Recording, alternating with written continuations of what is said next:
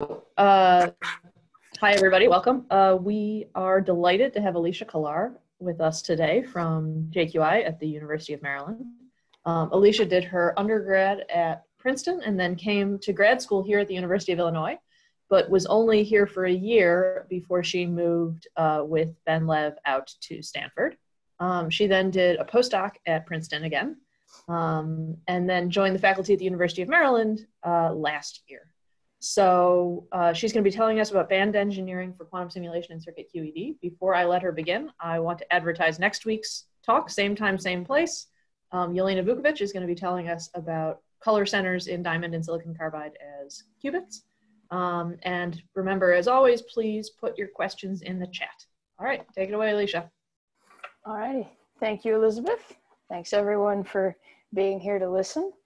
Um, and so let's get started. So the basic outline of my talk is that I will start by trying to introduce the, the system that I work with, namely coplanar waveguide lattices and superconducting qubits. And so I'll give an introduction to, to what these systems are and what their unique capabilities are. And then in the latter part of my talk, I'll give sort of, the middle part, two examples of how we harness the unique capabilities of the system to make synthetic materials that we wouldn't otherwise be able to have in the lab. And then hopefully I'll have a little bit of time at the end to show you some preliminary data from interacting devices as opposed to the somewhat more theoretical portions in the of the earlier part of the talk. So what do we work with? So it's a circuit QED lab, so everything is microwave. Um, and our favorite workhorse is this thing here. This is the coplanar waveguide resonator. It's basically a two-dimensional analog of a coaxial cable. So it has one central conductor and two ground planes on either side. And if you cut the center pin, then you can make a high Q cavity with voltage and current waves bouncing back and forth between these two mirrors. And so we get a very one-dimensional cavity. Um, in practice, it looks more like this. So they're big and long by microfabrication standards. And so we actually put these meanders in typically to compactify the whole thing. And the fact that you can do this is actually going to turn out to be really key to some of the fun lattice examples that I'll show you later. Um, just to put up a Hamiltonian, this is a harmonic oscillator, just like you're used to, except that instead of position and momentum, the corresponding degrees of freedom are charge and generalized flux. Let's move the laser pointer away. Um, and so this is our favorite object, but it's a harmonic oscillator, so it's not complicated enough or intricate enough by itself to do a lot of things. And so we need one more ingredient, and for us, that's the superconducting qubit. Um, this is a schematic of the most common type that's in existence right now, the transmon qubit. So it, what it is is a capacitor in parallel with one or maybe two Josephson junctions And at the Hamiltonian level, you can really think of it as an anharmonic oscillator. So instead of the phi squared term that we had before, there's a cosine phi, and that gives you an anharmonicity or a nonlinearity. Um, the transmon limit of this circuit is in fact where this EJ coefficient is much larger than EC. And so the, the intuitive way to think about this circuit is actually as a particle in a cosinusoidal well. So it has many different bound states and there's a small anharmonicity due to this EC term. But if you're careful not to drive too fast or too hard, you can isolate these lowest two levels into an effective spin a half system. And that is actually the transmon qubit. Um, and so we can make these lithographically and actually just fabricate them directly inside the cavity. And when you do that, you get usually this uh, Jaynes-Cummings Hamiltonian. So you have a harmonic oscillator description of the cavity, an effective spin a half for the qubit, and this Jaynes-Cummings interaction term where the photons in the cavity can exchange energy. And so this here, let me move that out of the way, is a schematic of what the coupled energy levels look like. So by itself, the cavity is completely harmonic. But when you couple it to the qubit, each of these levels splits into doublets where the, the size of the splitting depends on the number of photons. And so this is very qualitatively the kind of spectrum that we're working with. And it can be viewed in two qualitatively different ways. So the first is the more traditional quantum computing paradigm, where we can decide that the qubits are actually the system of interest for us. And then in that case, what the cavity does is it isolates the qubit from the rest of the electromagnetic environment and gives us a very well-defined sort of bus channel for routing signals to and from the qubit. But we can also think of this the other way around, that it's actually the photon degrees of freedom that we're interested in. And then in that case, what we have over here is a photonic system where the energy levels depend on the number of photons. So it's not harmonic anymore. And so this is actually essentially interacting photons with an interaction that is endowed by the presence of the qubit. And so this is sort of the pictures that we have to work with. Um, and it's very easy to understand in the single cavity regime. And so what I work on is basically trying to take this into more and more interesting places by making the photonic degrees of freedom more and more interesting and subtle.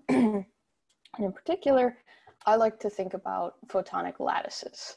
And so for me, this is what a lattice looks like. This is a photograph of a chip that was fabricated in the Houck lab once upon a time. and so each of these little squiggles here is a coplanar waveguide resonator, and they each meet at these invisible little black dots. So if we zoom in, this is what the junction region looks like. And so this is the center pins of three different cavities coming together at one spot where there's a particularly large capacitance, and that allows microwave photons that are rattling around in one cavity to hop over to either of the two other ones. And so we can actually think about this device as a tight binding solid for photons. So the on-site energy is given by the resonator frequency, and then whenever the resonator endpoints touch, photons can hop from one cavity into the other with a hopping rate whose magnitude is given by the capacitance of this junction area. Um, it has one minor oddity, which is that the hopping is negative. So there's a few too many minus signs, but what this really means is that things that you expect to be low energy modes, long wavelength things are actually at high energy in this system. So the entire band structure is upside down from your molecule or solid state intuition that the bonding orbital should be the ground state. So everything is upside down, but that's just a global minus sign. In addition to this minus sign, there are two really qualitatively unique features about these lattices. Sorry. So the first is that these resonators are in a sense deformable. So what do I mean by that? So here's a picture of the CAD for one of our resonators. So it's this meandering waveguide with the two coupling regions on either side. And the key is that the frequency of this thing depends on how long the waveguide is, not how far away the endpoints are, but really how long the waveguide is. And the hopping rate, it comes entirely from these end regions and not from some central attractor and then tails of the wave function.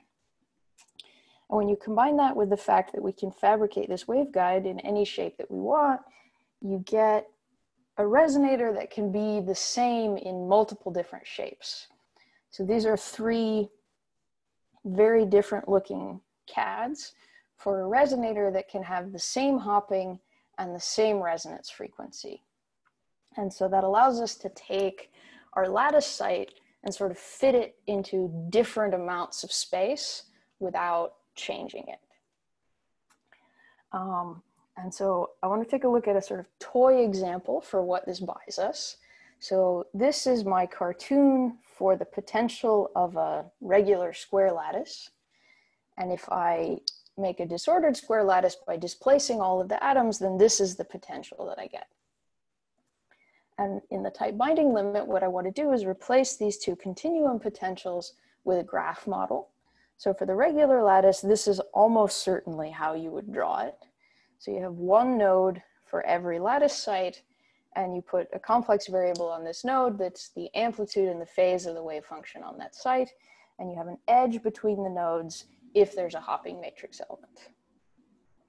For the disordered lattice, I get something like this, where I've drawn all the nodes in the same places.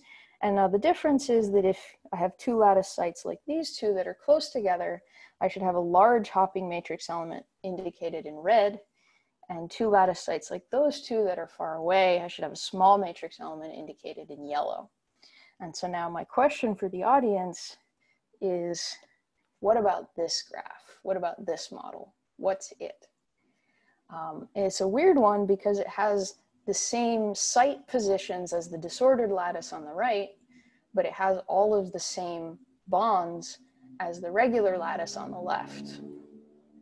And so in fact, it's not the disordered graph at all because all of the hoppings are equal. Despite how funny it looks, it's exactly, exactly the same as this regular version of the tight binding model. And this is really an inherent property of a tight binding model that the only information in it is who's connected to whom and how strongly. And so even though we started with this continuum lattice model now at the graph level, the only thing that matters is connectivity. And this is what the deformability of these coplanar waveguide resonators buys us, is that we really just have connectivity and we can make a distorted version of the lattice like this one here. Now, for a square lattice, this is a silly thing to do. This one's much easier. But there are some lattices where a nice regular version like this is actually not possible to make in the lab. And the only thing that we could make is a disordered version like this. And that's actually going to be the key for all the hyperbolic lattices that I will talk about in the, the middle of my talk. so having this deformability.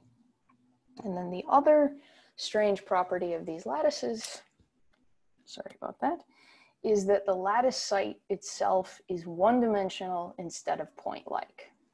So if we zoom in on the device and try to see what lattice it is, your eye probably picked out the same hexagonal lattice that I've just drawn here, right? But I have lied and I have done something bad because what I have done here is I've drawn a lattice that implies that the particles live here and that the edges on the resonators are the hoppings. And that does not describe what happens to photons in this device.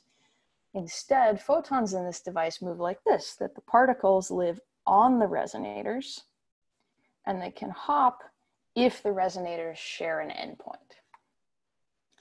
And so when I look at a device like this, there's sort of two lattices that I can think about. So the first I will call the layout graph, which right now all that it does is describe the connectivity of the hardware, where all of the resonators actually are. And if I want to think about what happens to photons, then I need to think about an effective lattice, which in this case is a Kagome-like object. And this turns out to be a mathematical object called a line graph. And line graphs have many very special properties, which we're going to exploit to make lots of fun systems later on. Okay, so that was the end of my sort of whirlwind introduction to coplanar waveguide lattices. So this is maybe a good spot to, to pause for questions if there are any. There are none in the chat, but I have one. Okay. So uh, when you drew your deformed lattice, but with the same hoppings, um, like what you have when you make your different shaped things, the uh, the space between your resonators feels like it should be the length of the resonator, not the physical actual space between the resonators because what matters is like the half length for the photon yes. and so this is absolutely right that you need to make sure that regardless of how long say this bond is you put a resonator whose total arc length is equal. Okay.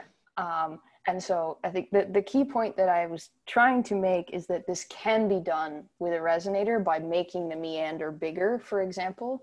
Whereas if I have two atoms and I bring them closer together, there's essentially nothing I can do to keep that hopping matrix element from going up. Okay. Thank you. Um, hello, I, I had some questions. Um, yeah.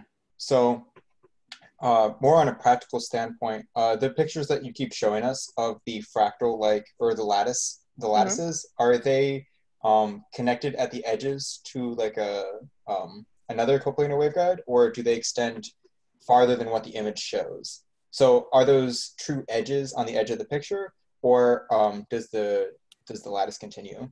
So this particular one, this is the entire chip, and so the lattice stops at this point. Um, and then usually we connect it to a few coplanar waveguides to get signals in and out. I see, I see. And then when you're calculating, uh, so you have to calculate the inductance and capacitance of each of these elements, of each of these resonators, right? Um, do you do Roughly. that just with like a with a basic formula, like you take the length, or do you do it with like finite element analysis? Um, so at the moment, we basically we use the the straight waveguide formulas. Mhm. So we say what's the total length, um, and then if we want to make something a little bit more intricate than this, we have to worry a little bit about corrections from the bends and from any parasitic capacitance. And unfortunately, so far I have not been able to get finite element type solvers to really give a good answer for those corrections. So some Okay. of that unfortunately has to be done by hand. It's I, one of I see. sides.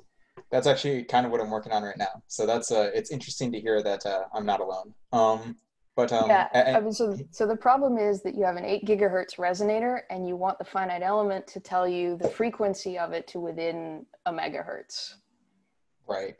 And a coplanar waveguide is not a friendly geometry for a, a finite element. The aspect ratio is horrible. Right, right. And then, okay, final question. Um, are is the inductance of these resonators strictly geometric, or do you have kinetic inductance in the materials that you use? So these guys are essentially all geometric. Um, So they're made from niobium, and they're made with pretty big fat center pins, 20 microns. Okay, Um, we have done some experiments where we made it from something with kinetic inductance with a much smaller center pin. Um, and that's sort of a different beast. okay. All right, thank you. Alrighty.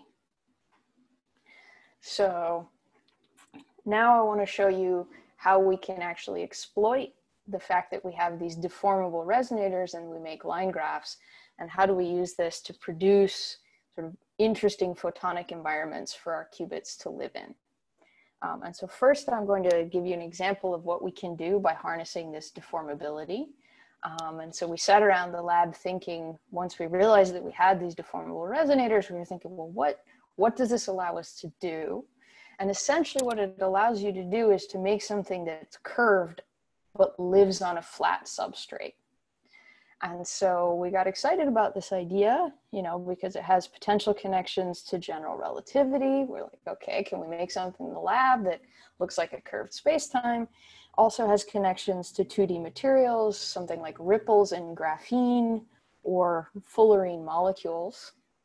And this is what got us started on along these lines. And sort of there's two possible curvatures that we could try to implement, positive spherical curvature or negative hyperbolic. Spherical curvature we're all familiar with. Um, hyperbolic is actually much harder to realize and mathematically much more intricate. And so that's where we started. And so if you look at hyperbolic spaces, they're actually related to open questions in modern mathematics. So a tree is hyperbolic. Um, it's really a challenge.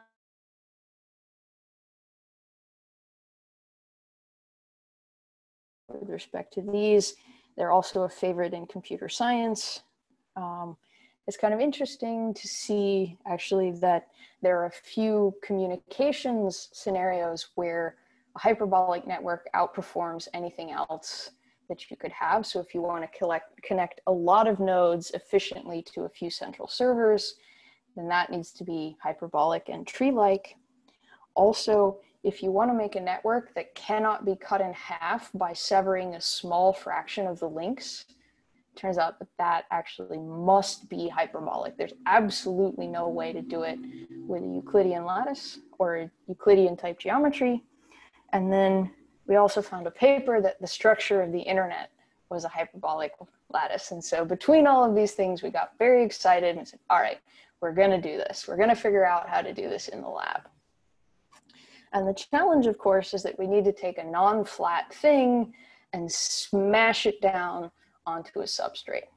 And so if I think about how to make a lattice, we're all familiar with Euclidean ones. So this is my favorite example, graphene. I pick a tile and I pick a tiling. And once I do that, if I've chosen well, as soon as I can do one vertex, I can just keep on going to infinity. That's sort of the characteristic of a nice valid flat lattice. Um, in a spherical space, oops, there's a similar tiling where instead of hexagonal plaquettes, you use pentagonal plaquettes, and I've started to draw it here. And already at the level of the single vertex, I've run into a problem. Because these two corners are the same lattice site, and they're not in the same place. And so the only way to get the connectivity right is to stretch things out. So this is my cartoon of a flattened soccer ball. And things are much longer out here on the edges than they are in the middle. And this is really taking something curved, making it flat. There's no way to do it without messing up the distances. Um, hyperbolic space is harder to get intuition for because it basically doesn't fit in 3D. Um, so what I would say is the best way to think about it is that it's the opposite of spherical in every way. So instead of having too much space, the problem that you have is too little space. And so instead of stretching, you have to shrink. But again, same issue, that there's no way to do it without having long bonds, medium bonds, short bonds, and teeny tiny bonds. And so if I imagine doing this with actual physical atoms, there's no way that I could do this and keep the original tight binding Hamiltonian from my abstract hyperbolic space. But if I do it in a circuit QED fashion, I can. And so this is a cartoon of how this works. Um, and so distance is not preserved, but for the circuit QED system, I don't care. The only thing I care about is can I keep my tight binding model? And so first, if I use the same capacitors everywhere, that guarantees me that I have the same hopping matrix element. So that keeps the connectivity. And then the last thing that needs to be fixed is exactly what Elizabeth was asking about, which is the on-site energy. So you need the same resonance frequency. And so if you look here near the center of this lattice, there are very large meanders. And if you look here on the outside, there are very small meanders and that lets you keep the Hamiltonian the same. For the hyperbolic case, it's sort of the opposite, that you do very large meanders towards the middle and, and small ones towards the outside. Sorry, small ones in the middle and large ones to the outside. And this is the, the key that will let us make this kind of a hyperbolic structure. And since graphene is our favorite, we started looking at this, this hyperbolic version of graphene so it's seven-sided polygons instead of six, but sort of tiling in the same way. And so this is the one that we started to look at. And when we make it in the lab, we're gonna end up with a Kagome-like version. And so we started to think about how do we understand what's going on with particles in this system. So this is the band structure of the Kagome lattice, the Euclidean Kagome lattice with negative hopping. So there's a flat band at minus two shown in orange here, and there's two bands above it. And what we would like to do is produce the same kind of calculation for the hyperbolic lattice. Unfortunately, mathematics is against us.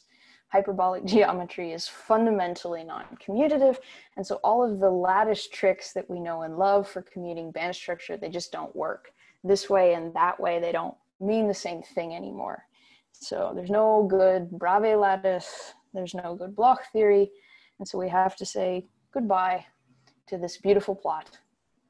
And all that we're left with are more general graph theory methods that exploit much less of the lattice symmetry and brute force tight binding numerics you just take a finite lattice and diagonalize it.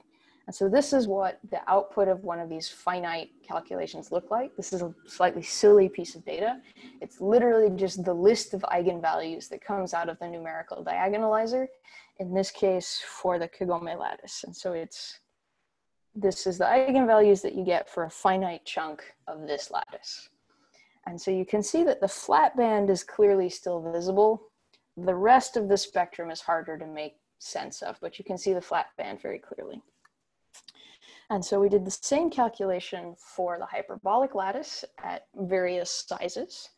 And you get something that's qualitatively very similar. There's stuff, yeah, there's a flat band, but there's one big difference is that there appears to be this size independent gap between the flat band and the rest of the states. And so this got us very excited because gapped flat bands are extremely unusual in the solid state. And they're very interesting from a quantum simulation point of view because if you look here, all of these states are degenerate. And so that means as soon as you introduce a perturbation, a nonlinearity, an interaction, they can have a huge effect on the flat band and the flat band states.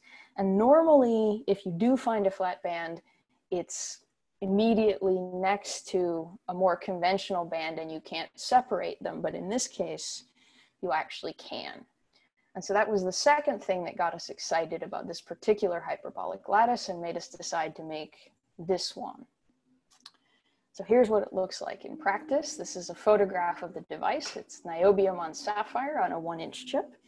And so what it is, is a central heptagon and two rings of neighbors. So here's the central heptagon, the first ring, and the second ring kind of looks like a tribble.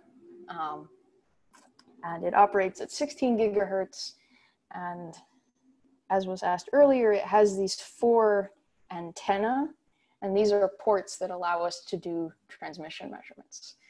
And so, you know, it took us a while to get the microwave engineering down on this one and to beat down on some systematic disorder, but we were finally able to measure the transmission through this device and roughly match it to theory. So what you're looking at here is experimental transmission in blue and uh, a family of theory curves for different disorder realizations, showing that we can match sort of the location of the peaks, some of these big dips and the characteristic widths. Um, for those of you that have seen superconducting device transmission before, this looks pretty ugly. Basically, the issue is that at this frequency, there's some leakage going through the device. And so what you're actually looking at is the interference between the background and the main signal.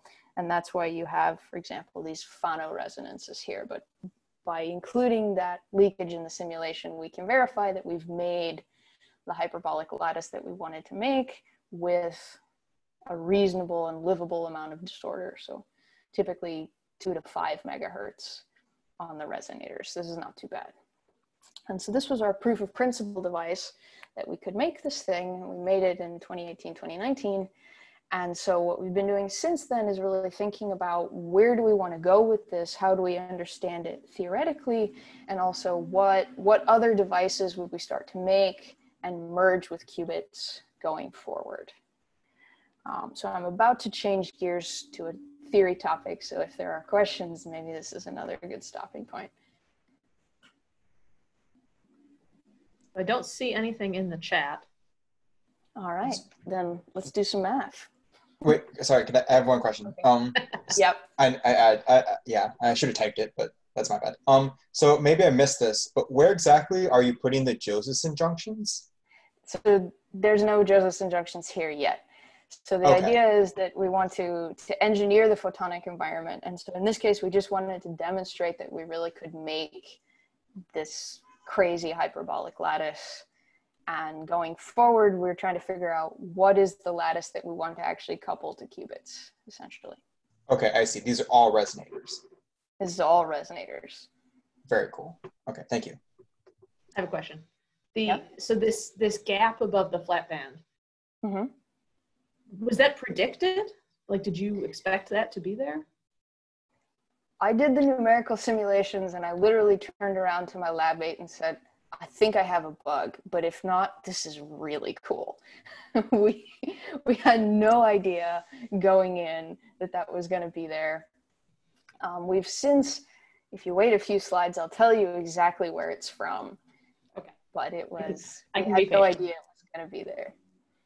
It looks like Paul has a question. Just a, a quick one. I'm sorry, I, I, missed it. So, what are the different theory curves that are on this plot? So basically when we make these resonators, there's a little bit of systematic disorder between the different shapes and a little bit of random disorder from fabrication uncertainty. And so when I do a theory simulation, it's never gonna match exactly.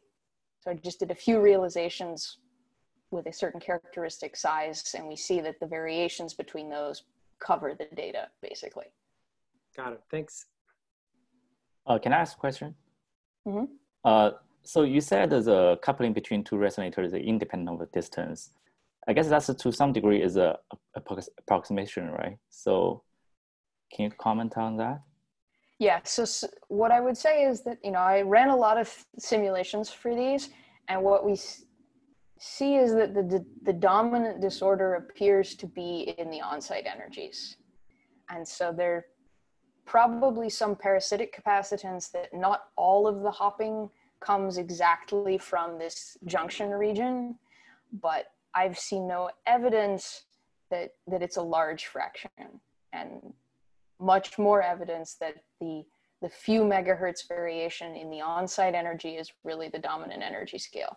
So one of the sort of the issues is that these resonators are their fundamental frequency is 8 gigahertz. The hopping rate in this device is about 75 megahertz.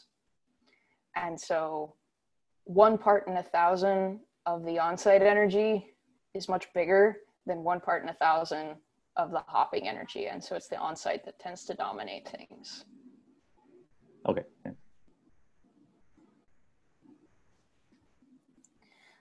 All right, cool. So now, now we're going into hardcore theory land. Um, so working together with Alexei Gorshkov's group, we tried to, to understand this device better um, and really get a feel for what would the theory be for a particle on a hyperbolic lattice. And because of this weird minus sign, the fact that the band structure is upside down, the easy part of the spectrum to understand is actually the high energy end because this is where the long wavelength modes live. Um, and so this is where you should, you feel that your lattice should coarse grain out and basically leave you with a hyperbolic particle in a box. And so if you look at the highest energy numerical eigenstate for a finite lattice, this is a plot where what I've done here is drawn a bubble on every lattice site where the size of the bubble is the amplitude of the wave function and the color is the phase. And so this exactly looks like what you would expect for a particle in a box sampled at some lattice sites. Um, and so what Igor, one of Alexei's postdocs, uh, sort of spearheaded was a more quantitative check of this. And so what they did was they looked at the continuum sort of free particle in hyperbolic space and tried to compare it to the lattice. And they were able to show that up to an effective mass, these two are equivalent.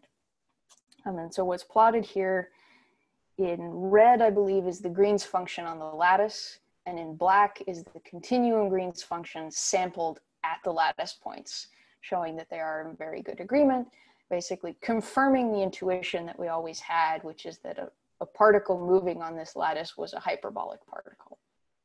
And they matched the Green's function, the ground state, ground state meaning the highest excited state, and the first excited state energies. Um, so that's our sort of hyperbolic theory. But in addition to the hyperbolicness of this lattice, as I said, we were interested in it for the gapped flat band. And so I also started working very hard thinking, can we understand where this gap is coming from? And can we make it bigger, more robust to experimental imperfections? Because the, the gap in the heptagon Kagome hyperbolic lattice is actually not that big.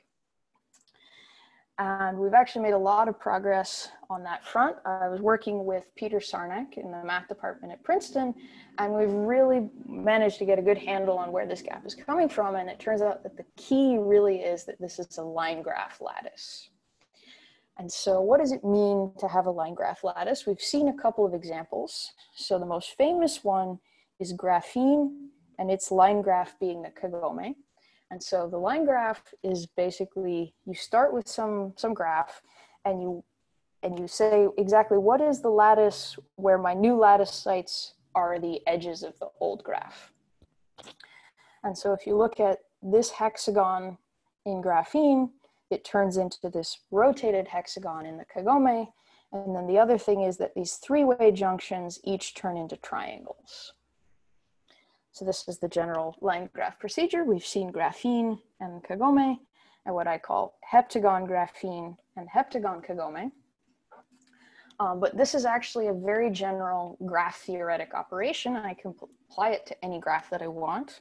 So for example, the tree or something with a higher coordination number like the square lattice. In the case of the square lattice, I get a slightly more unusual line graph. So the thing is that this four-way junction, the resonators neighboring each other are connected, but also opposite. And so that gives you these plaquettes with diagonal hoppings. There's no site in the middle. That's a, a crossing of the bonds. It's an optical illusion. So these are sort of examples of a line graph lattice. And these two in the middle are hyperbolic. And they're very hard to calculate, but graphene and the square lattice, those I know what to do with. And so we can take a look at those two and try to get some intuition. So here we have graphene and its band structure. Its line graph is the Kagome lattice, and that's the band structure of the Kagome. And then if we do the same thing for the square lattice, we get this picture. And I have deliberately used an extremely suggestive color code to highlight a pattern here. But if you look over here these two band structures on the right, you see that they each have a flat band at minus two. And then the non-flat bands look identical to the ones that you started with in the original, both for Kagome and graphene and for the square lattice and its line graph. And this is not accidental. This is in fact a completely general statement about line graphs of regular graphs. Um, and I'll take you through the math in a minute, but what the math will allow us to do is to really understand where this flat band is coming from and how to pull it away from the dispersive bands, because in both of these cases, there's a band touch. All right, so now we have to do some math. And so what we want to do is connect the Hamiltonian of a particle hopping on the original graph to the Hamiltonian, the effective Hamiltonian for photons on the lattice. Um, there's one slight subtlety here, which is that there are two on-site wave functions for these resonators. There's a half wave mode, which is antisymmetric, and a full wave mode, which is symmetric. Uh, the full wave mode gives you an S wave tight binding model on the line graph. Um, half wave mode is interesting, but much messier, and so we won't talk about that here. And so we want to connect these two Hamiltonians, the Hamiltonian on the original to the Hamiltonian on the line graph. And to do so, we're going to borrow an operator from graph theory called the incidence operator, which maps states on the original graph to states on the line graph. You can think of it as a rectangular matrix where you input a vertex or a node and it outputs the edges that are connected to that node. And so M goes one way and M transpose maps the other way back from the line graph to the graph. And so these are the, the magic golden relations. So basically, if you apply M and M transpose, then you go from the graph to the line graph and back. And if you do it the other way, M transpose M, then you go from the line graph to the graph and back again. And what you find on the right-hand side is if you do it in the first order, you get the original Hamiltonian plus this matrix D, and D is a diagonal matrix of the coordination numbers. So for something like graphene, this is three times the identity. And if you do it the other way, you get the effective Hamiltonian that we're interested in plus two times the identity.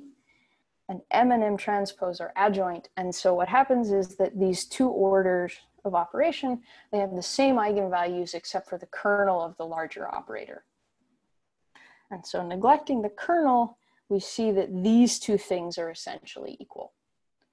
So you take the original plus three, and you get the new one plus two for something like graphene.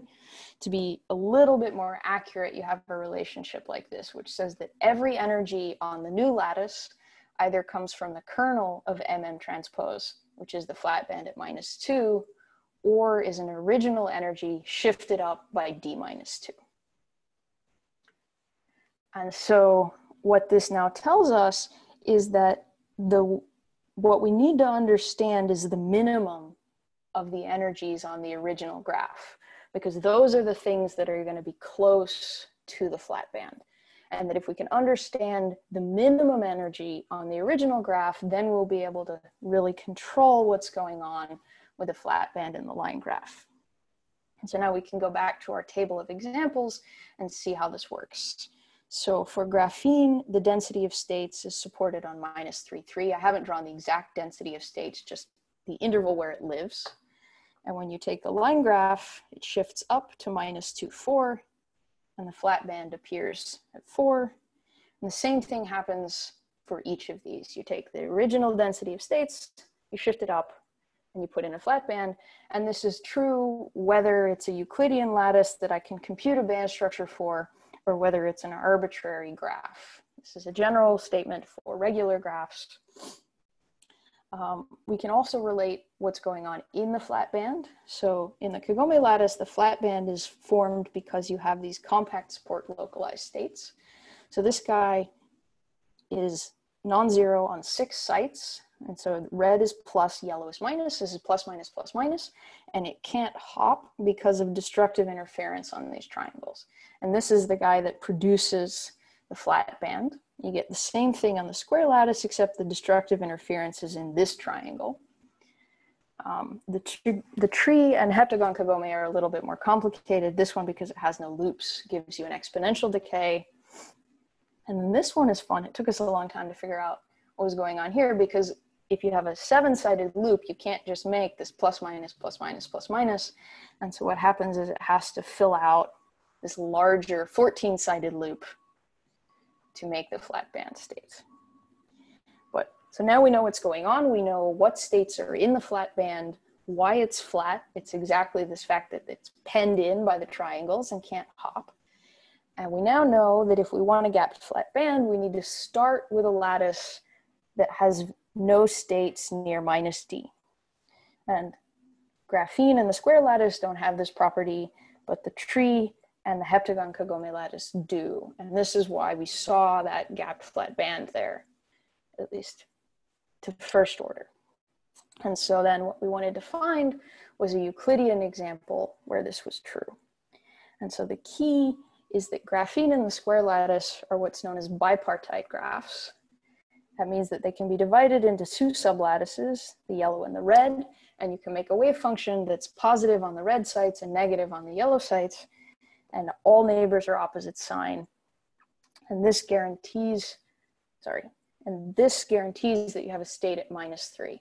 Whereas if you have a non-bipartite lattice with odd-sided loops, then you can't make this plus minus plus minus pattern. And so what we need is a non-bipartite Euclidean lattice. The canonical example of this is the triangular lattice.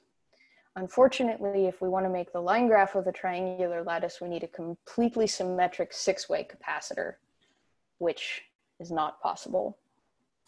And so what we've done instead is use some more graph theory tricks to make a good example from graphene. So here we have graphene and a cut through its band structure. And I'm going to play a trick and do what I call subdivision. So put a new lattice site on the middle of every edge this actually square roots the band structure. It's kind of fun. So it turns this quadratic minimum into a Dirac cone. But then if I take the line graph of that, now I have this new lattice. I call it caffeine as a joke. It's partway kagome, partway graphene. Um, and it's very special because like graphene that it started from, every site has three neighbors. So this makes it very good for a hardware layout. We can make it easily. And that also means that when you do the band structure, the energies can be anywhere between minus three and three. But if you actually do the calculation, there are no states below minus two. And so if we start for this guy as the hardware, then when we take its line graph, that will shift up like so and leave a hole at the bottom. And so now, I think my laser pointer is gonna get in the way, but we have a flat band at minus two and a giant band gap of 1t before any other states come in. And one of the things where I was able, we were able to prove with Peter is that actually this is the largest possible gap that you can get starting from any three regular hardware layout. And so we can make fun things like this where the gap, where the flat band is by itself. Sort of amusingly, if you keep going with this procedure, you can get this band all by itself also. So we had a lot of fun playing around with this subdivision and line graph. Um, and in fact, we were able to prove some new math results. Um, so now I'm gonna try to take a few minutes and just describe what we've been up to. But so we were motivated by this question, can we use these methods of subdivision and line graph and combining all of our band structure calculation knowledge from physics with math to understand if we could make even larger gaps or if we could make planar graphs have gaps in the right places as well because constraining things to be planar is a pretty severe restriction in graph theory. Um, and so we've proved one theorem in a, which is an arXiv preprint at the moment, that no three regular graph can have a gap larger than two. And we've actually found two examples that obey this property. So this is the first one. And this is the second one, it has a gap minus one, one. And I think the physics audience will be intrigued because it took us a while to see what this guy is, but it has another incarnation, otherwise known as a carbon nanotube. So this is one of the smallest carbon nanotubes and is provably got the biggest gap of any three regular graph. Okay, so we're having fun. We're on a roll. So we kept going and started looking at whether we could do all of this in planar graphs because the previous one, extremal ones, weren't planar. And so the interesting thing that we found here was an idea that Peter had, um, which is a different way of viewing lattices. And this is the technique that we leveraged. Um, and so the name for this in math is called an abelian cover. And so the basic idea is you start with some small graph, and then you want to build a lattice out of copies of it. And so you take one edge, for example, this one, and you cut it, and then you stitch it not within the unit cell, but to the equivalent site one unit cell over. And so this is the kind of thing that you get when you do this. This is with two edges stitched. So this particular one and this particular one. And what's really nice about this method is a couple of things. So one is actually the eigenvalues of this small graph are the k equals zero eigenvalues of the full lattice. No matter what lattice you make, how many edges you stitch or in how many dimensions, this, this guy gives you the k equals zero points in the bands. And small graphs like this have been tabulated and their spectra are known. So this is like having a periodic table of unit cells. You want a gap at a certain energy, you can throw away all of the unit cells that don't start with that gap and then try to find lattices that have big gaps. Um, so I'm running short on time, so I'll skip ahead a little bit. We found lots of fun ones. Um, what may be of more interest to the physics audience is that this actually has connections to error correcting codes. So recently, Steve Flammia and his student Adrian Chapman proved this theorem here, which is that if you have a spin model and you want to solve it exactly by transforming to free fermions, you can do that if and only if the anti-commutation relations form a line graph. So that's how we started talking to each other was this line graph connection.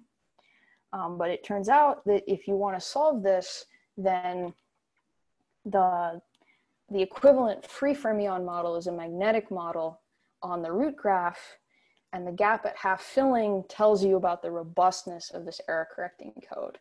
And so what we've been doing is actually using this abelian cover method to try to find lattices that have large gaps in this sense. And so we're checking the carbon nanotubes and we find sort of, once you add this magnetic field aspect, you get new new options. But like this is our extremal example from before, and it has a very large gap, but it turns out not actually to be the ground state of the code.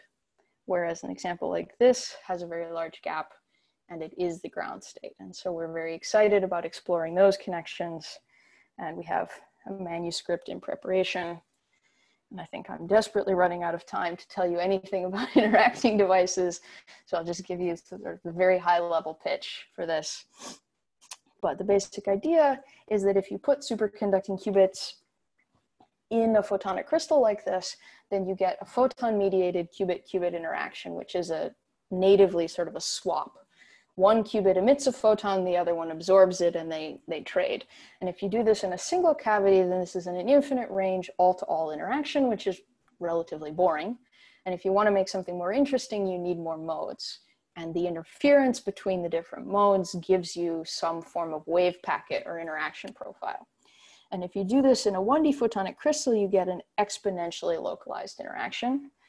Um, and so this has actually been measured in the Houck group, but I will blaze through that.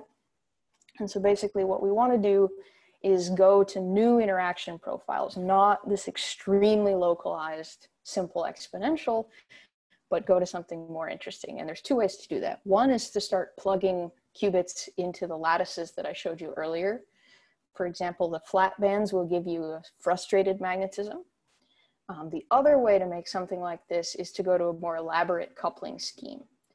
Um, and so if you have Raman coupling, then you can imagine that you drive one leg actively and use a cavity to mediate the other. And so you get the same effective swap type interaction, but there are two detunings now that control everything, the intermediate state detuning and the Raman detuning. And what this allows you to do is to put multiple drives together. And so if you do multiple drives in a simple 1D uh, photonic crystal, you can superimpose different profiles. And that's really the key of this method is that with multiple drives, you can just add the interaction that you would get individually from drive. And in 1D, you can make an approximate power law interaction. But in order to do this, you need a three level qubit. Um, and so this is why we're looking at fluxonium. I think for this audience, I will just skip through the details of fluxonium and you'll have to take my word for it that it's a three level qubit.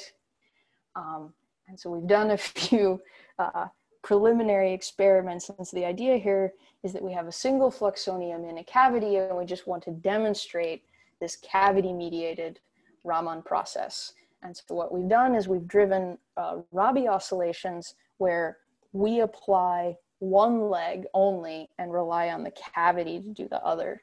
And so experimentally, what this means is that we pulse far detuned from the excited state, and then we check if we've depleted the G1 population.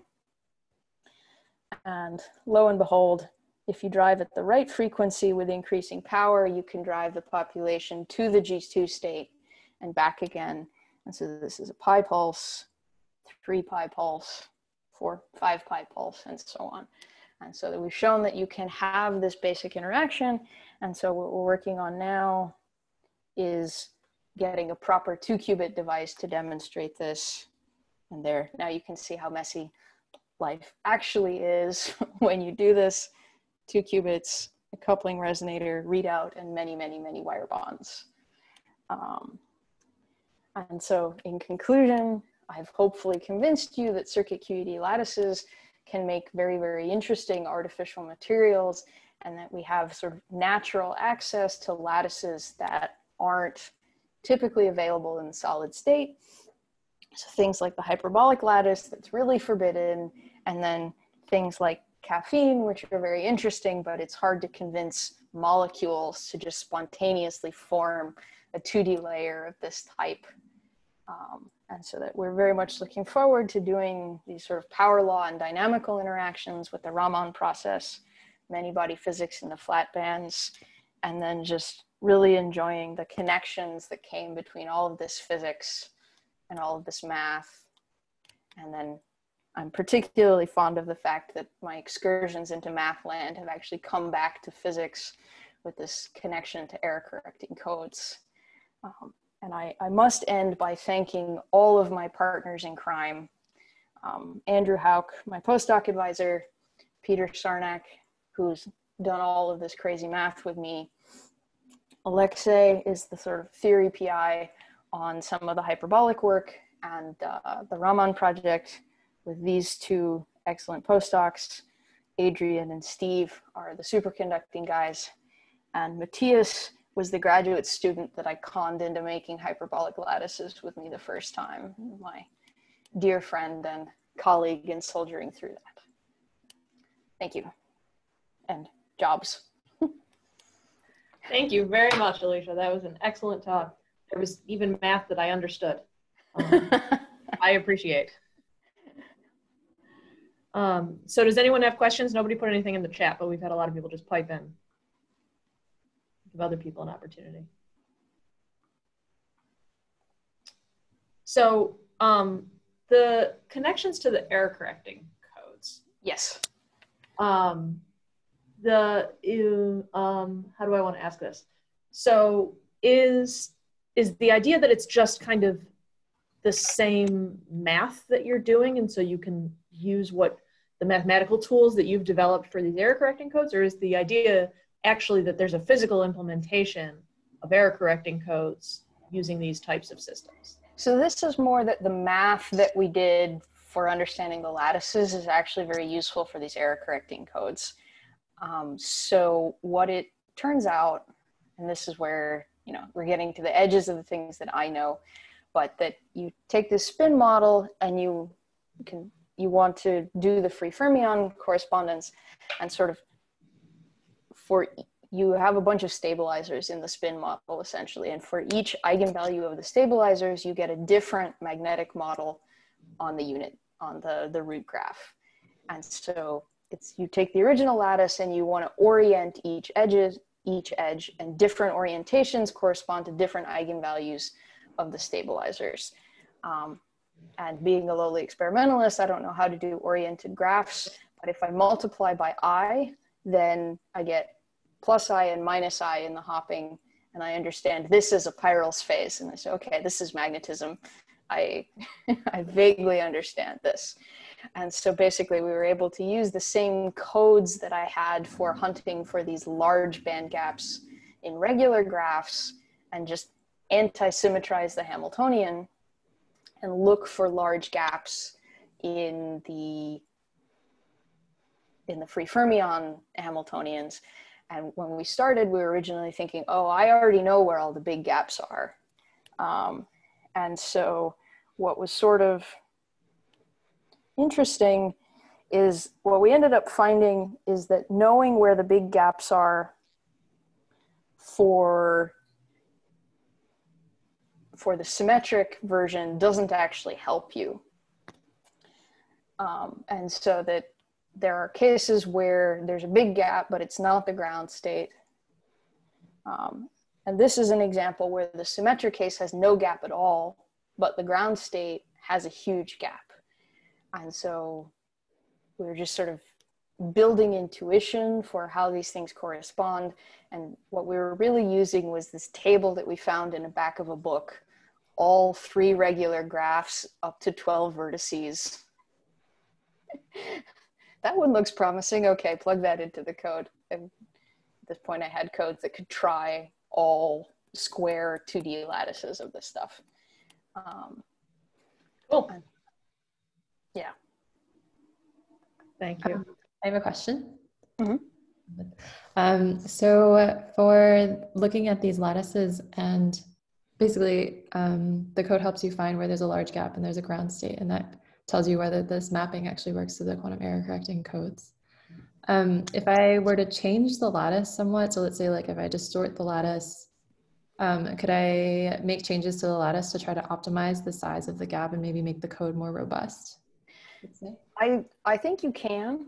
Um, I haven't looked at it yet, basically just because it makes the problem sort of much higher dimensional. Um, you know, but so the canonical example of this free fermion solvable uh, code of this type is the Kitaev honeycomb. And that doesn't have a gap unless you make the couplings unequal. Um, and so what we were, you know, what I had sort of been thinking is that these gaps are much, much larger than what you would get from slightly anti-symmetrizing the Kitaev honeycomb. So this may be a better starting point. Um, you know, it- what it turns out is there's a fairly fundamental tension between having a very large single particle gap and having a 2D code. Um, and so we're really trying to explore sort of what these trade-offs are. So the then would you say that the gaps that you found are sort of getting close to the limit that you would get with like a 2D?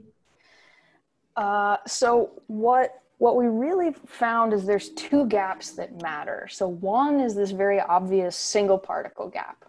So that let me just say, let's look at this one for example. So if you, oops, go back.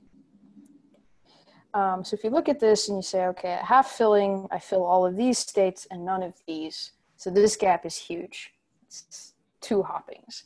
And I believe that this is the biggest that you could ever do. Can't quite prove it, but I'm pretty sure. The problem is that this isn't the only gap that matters. You have to compare the different possible orientations of the graph. So for example, this one to that one. And and what it turns out is that that comparison tends to give you a much smaller gap than these really big ones. So we know how to make the single particle gap very large, but this the sector comparison gap, we don't actually know how to make it big. And so, so far in these cases, that's always the small one. Okay. So then it might not matter that this gap tends to be smaller in a 2D code because other things ruin it first. But sort of these are the kinds of things that we're exploring, and we certainly haven't found a smoking gun example that's good in everything. Because what we'd really want is a 2D code with a huge single particle gap and a huge gap between the sectors. Okay, thanks. All right. So thanks a lot, Alicia. Let's thank again